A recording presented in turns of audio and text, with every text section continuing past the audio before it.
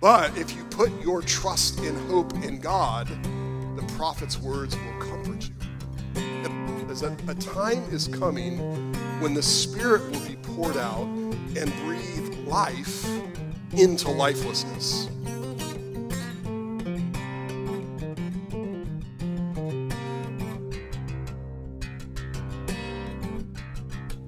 We are continuing our series in the prophets. Today we're looking at the book of Ezekiel. And Ezekiel is an interesting character because he was actually in line to be a priest, not a prophet, but a priest. And he was deported with the exiles from Jerusalem, 1,500 miles away. You can see that red line from Jerusalem all the way to Babylon and you'll see, I don't know if you can see it, there's something there that says the Chebar Canal outside of Babylon. That's actually where God showed up to Ezekiel and called him to be a prophet while he was 1,500 miles away from Jerusalem with all the other exiles. And now his prophecy, his book is actually pretty dark until it gets to chapter 33. Chapter 33 gets really dark because he gets message from someone that Jerusalem, the holy city of God, Zion, has fallen to Babylon. The, the city is now in captivity itself. And it's interesting because after that really bad news, the book of Ezekiel changes tones a little bit from darkness and despair to hope. It changes to hope. And that's because one of the prophet's jobs is to afflict the comfortable and comfort the afflicted. In other words, if you have a false hope that's not in God, the prophet will bother you. The prophet will bother you. But if you put your trust and hope in God, the prophet's words will comfort you. And last week we had a really hard word from the prophet Jeremiah, but today's word is a word of comfort from Ezekiel. And it's not really a call, it's a vision that he receives. Ezekiel receives a vision in chapter 37. Now, a vision is it's not a dream. It's more like a movie that you find yourself in and that's not really real. In other words, it's not really happening in the physical world, but God's putting this picture out there like a movie, but you're in it. And that's what happens to Ezekiel. He finds himself in this vision where he is in a valley of dry bones. A valley of dry bones. And as we read this, remember that the key word in this is hope. So let's read Ezekiel chapter 37, verses 1 through 14. This is God's word. The hand of the Lord was on me, and he brought me out by his Spirit and set me down in the middle of the valley, and it was full of bones. He led me all around them. There were a great many of them on the surface of the valley, and they were not just dry, but very dry. Then he said to me, Son of man, can these bones live? I replied, Lord God, only you know. He said to me, Prophesy concerning these bones and say to them, Dry bones, hear the word of the Lord. This is what the Lord God says to these bones I will cause breath to enter you, and you will live. I will put tendons on you, make flesh grow on you, and cover you with skin. I will put breath in you so that you come to life. Then you will know that I am the Lord. So I prophesied as I had been commanded, and while I was prophesying, prophesying there was a noise, a rattling sound and the bones came together, bone to bone. As I looked, the tendons appeared on them, flesh grew, and skin covered them, but there was no breath in them. He said to me, Prophesy to the breath, prophesy, Son of Man. Say to it, This is what the Lord God says breathe Come from the four winds and breathe into these slain so that they may live. So I, I prophesied as he commanded me. The breath entered them, and they came to life and stood on their feet, a vast army. Then he said to me, Son of man, these bones are the whole house of Israel.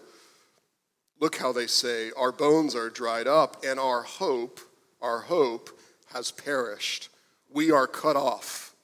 Therefore prophesy and say to them, This is what the Lord God says I am going to open your graves and bring you up from them, my people, and, and lead you into the land of Israel. You will know that I am the Lord, my people, when I open your graves and bring you up from them.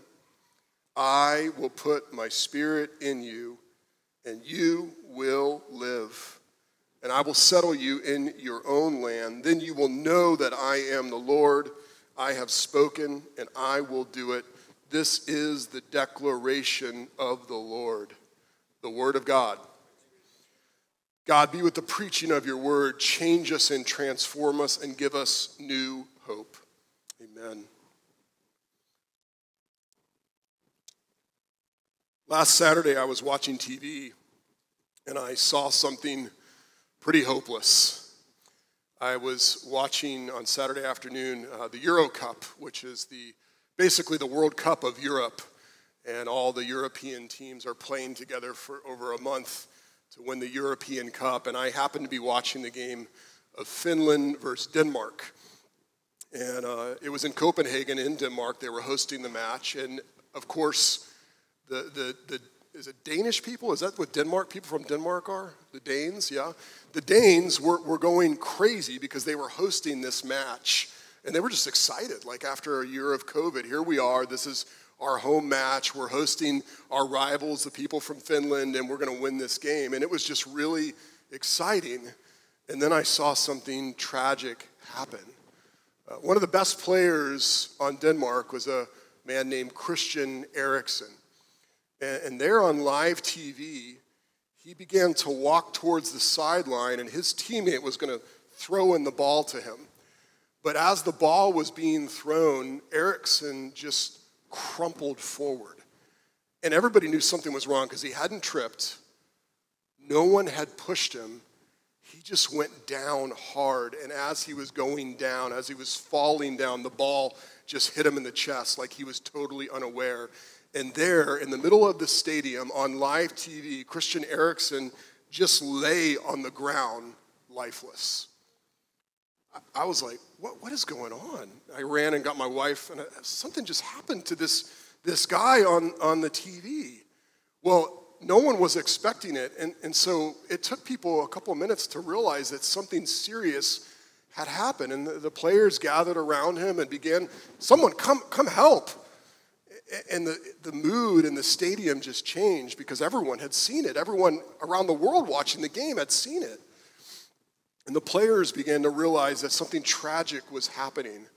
And so, just for a little bit of privacy during that moment, you can see in the picture there that they gathered in a circle around their teammate to sort of just give them some space for whatever was going on. And the, the hosts on TV didn't really know what to do. You, you can't really go to a commercial break during that time because everyone on TV is like, What's going on? And they began to pan the faces in the crowd, and you could just see the crowd had all seen what was happening, and it just felt kind of hopeless. And then they panned to Eriksen's girlfriend, and she was just crumpled, tears in her eyes, hopeless as she looked across the field at her lifeless boyfriend. Some of the players went over and began to comfort her.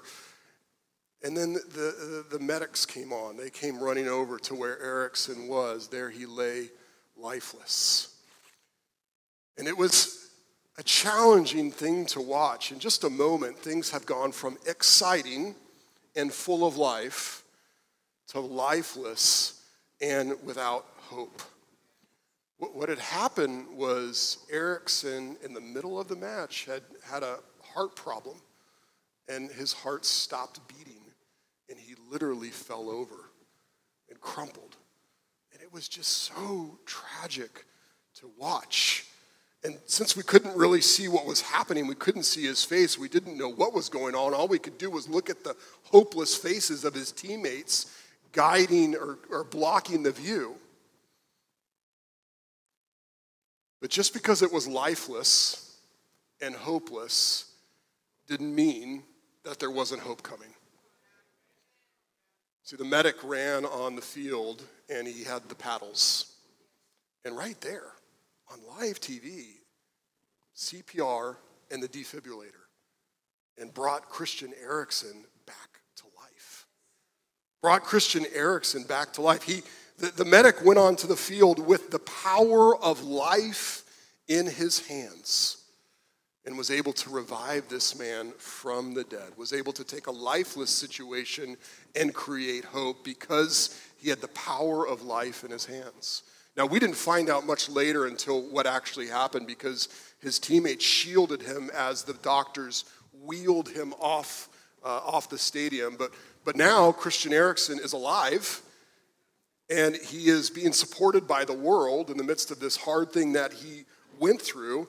Um, I don't know if he'll ever make a return to soccer, but the world is behind him as he recovers and he's alive. Life can feel hopeless at times.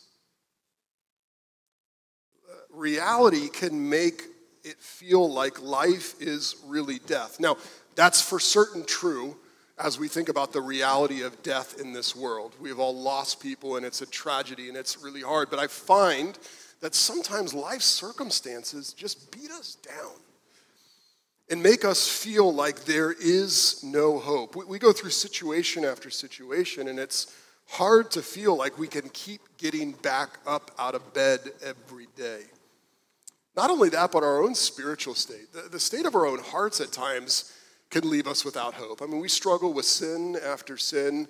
We want to remain connected to God, we want to follow Him, and yet there's something in our hearts that just feels alive, but not really alive to God. We feel tired and exhausted and we want to follow Him, but there's sometimes when we just don't care. But here's the thing about the God who carries the power of life in his hands lifelessness does not intimidate him, hopelessness does not stop him. With our God, nothing is beyond redemption. Nothing is beyond fixing. Nothing is truly finished. Nothing is hopeless because we serve a God who brings hope to the hopeless and breathes life to the dead. In our passage for today, Ezekiel is whisked away to this valley. And I want you to picture a valley that has like rocky crags on the side, maybe tumbleweeds blowing across it, no vegetation. It's just cracked, dried mud. And as you look at it, you think, I do not want to go through there. It looks lifeless and hopeless. But as Ezekiel looks at it in the vision, he sees that it's not empty, but in fact, there's skeleton after skeleton, bone after bone. Human skeletons. And they're not fresh, they haven't been put there recently. They're dry and dusty and bleached by the sun. This isn't the valley of the shadow of death, this is the valley of death. And God asks Ezekiel, Ezekiel, verse 3, can these bones live? How do you answer a question like that? I mean, dead things don't come back to life, but God is God. So do I say no or yes? And Ezekiel in verse 3, he wisely says, Oh God, only you know. Only you know. But in verse 4, God tells Ezekiel, prophesy concerning these bones and say to them, Dry bones, hear the word of the Lord. Dry bones, hear the word of the Lord. Now, when he says prophesy, what that really means in the Hebrew is preach. Preach the word of God to these dead, dry, bleached, dusty bones. You know, sometimes when you and I have problems, we're afraid to admit how big our problems really are. We're afraid to admit that we feel much more like dry, dusty bones, and there's no hope and there's no life. And in the midst of those situations, we need something a little more powerful than just daily affirmations. Daily affirmations are good, self help is good, motivational speech is good, but notice what God tells Ezekiel to do. Don't just speak positively, speak the word of God to lifeless, bones. And in verse 5 and 6, that, that's what happens. This is what the Lord of God says to these bones I will cause breath to enter you, and you will live. I will put tendons on you and make flesh grow on you and cover you with skin. I will put breath in you so that you come to life. Then you will know that I am the Lord. So then Isaiah preaches to the dry bones exactly what God had said. And while he's preaching, a rattling sound comes. The bones begin to not just be scattered bones, but come together to form skeletons. And then tendons form on them. And then skin comes on them they form bodies. I told this to my daughter, and one of them goes, That is disgusting. But it's not meant to disgust us, it's meant to give us hope. Hope that God's word brings hope into hopelessness. God's word brings hope into hopelessness. Notice how God is not afraid to show Ezekiel something that's really bad. This is bad. There's no, there's no greater scale of death than you can get a, as a valley of bones that are not just dry, but very dry. There's no hope that those bones can produce life for themselves. See, I think oftentimes as Christians, we are afraid to admit some of the things in our life. Now, whether it's the sin, the, the death of sin, or, or whether it's just that circumstances are really hard and we are hopeless, we try and keep it positive. You know, we go to church and Manny asks me, How you doing? I say, Good, brother. God is good. Meanwhile, I've got issues in my life, right? I've got things in my life that look like dry, dusty bones. But notice how, how God isn't afraid to say, it's dead. Because God's word brings hope into the midst of hopelessness. Maybe you need to get a little more real about the marriage problems that you're having. Maybe you need to stop saying that that area of addiction in your life is just fine. Uh, uh maybe you need to say, uh, My pride actually isn't under control. Maybe you need to admit that that bitterness you're going through is not just a season, but an attitude of your heart over a long period of time. Maybe you need to admit that you're lifeless and you're dead and you're without hope. Because what happens with Ezekiel is as he sees that dead, lifeless place without hope, he believes the word of God and he obeys it.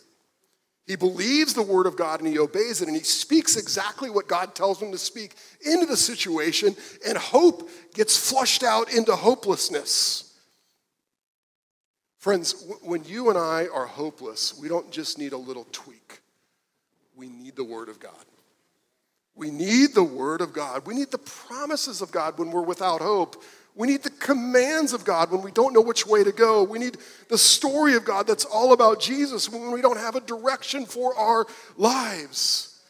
The reason why the Word of God is so powerful at bringing hope is because the Word of God itself is alive. In Hebrews 4, chapter 12, it says, For the Word of God is living, living, and effective, and sharper than any double edged sword penetrating as far as the separation of soul and spirit, joints and marrow. It is able to judge the thoughts and intentions of the heart. Now, sometimes when we engage the Word of God, it's actually quite painful. It doesn't feel like life. But that's because the Word of God is cutting out the cancer of your unbelief, it's cutting out the disease uh, uh, of your disobedience in your life. And it's actually bringing life. It's bringing life and hope to you. That's why the Word of God is so important to us as Christians, to us as a church. Dads, how are you doing at leading your kids in the Word of God? Not just knowing it, but, but using the Word of God to bring hope and faith into your home, to teach your kids how to find hope in the Word of God when their lives are hopeless. The Word of God brings life, brings hope into the hopelessness. Ezekiel has this vast army now bones have come together with tendons and muscles and skin, but there's no breath in them. There's no breath in them. They're not breathing. They're not alive. They're gathered, they're standing, but they're not, they're not alive. But in verse 9 through 10, God says to him, Prophesy to the breath, prophesy, Son of Man, say to it, This is what the Lord God says. Breath, come from the four winds and breathe into these slain so that they may live. So I prophesied as he commanded me, and the breath entered them, and they came to life and stood on their feet, a vast army. Now, that word for breath is used over and over in this passage, and it's the Hebrew word ruach. And it doesn't just mean breath or wind, it means spirit. The Holy Spirit, the third person of the Trinity, comes to this vast group of slain and breathes life into them because God's Spirit breathes life into lifelessness. God's Spirit breathes life into lifelessness. In fact, you know, much of what the prophets are getting at in general is that a time is coming when the Spirit will be poured out and breathe life into lifelessness. The people are lifeless because they've been disobedient to God, they've broken the covenant with God, they've rebelled against Him, they've worshiped idols, they've become more like the culture that surrounds them rather than showing God to the culture. They're lifeless. How in the world, if they haven't got it right, if they stink like death, how in the world are they going to become beacons of life and light for God? The Holy Spirit. Look at this a chapter before, Ezekiel 36, the chapter before. He says, I will also sprinkle clean water on you, and you will be clean. I will cleanse you from all your impurities and all your idols. I will give you a new heart and put a new spirit within you. I will remove your heart of stone and give you a heart of flesh. I will place my spirit, my breath, my ruach within you and cause you to follow my statutes and carefully obey my ordinances. This is talk about a new covenant, one that Israel couldn't break with God, but one that God would keep on their behalf. And what was characteristic of this covenant was that he would put himself in their hearts that God Himself would come to live by His Holy Spirit in them, bringing life to their deadness.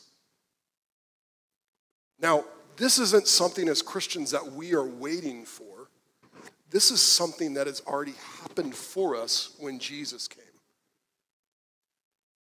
Hang with me for a second. Sometimes you and I look at the circumstances in life and we lose hope we lose hope because we forget what God has already done for us.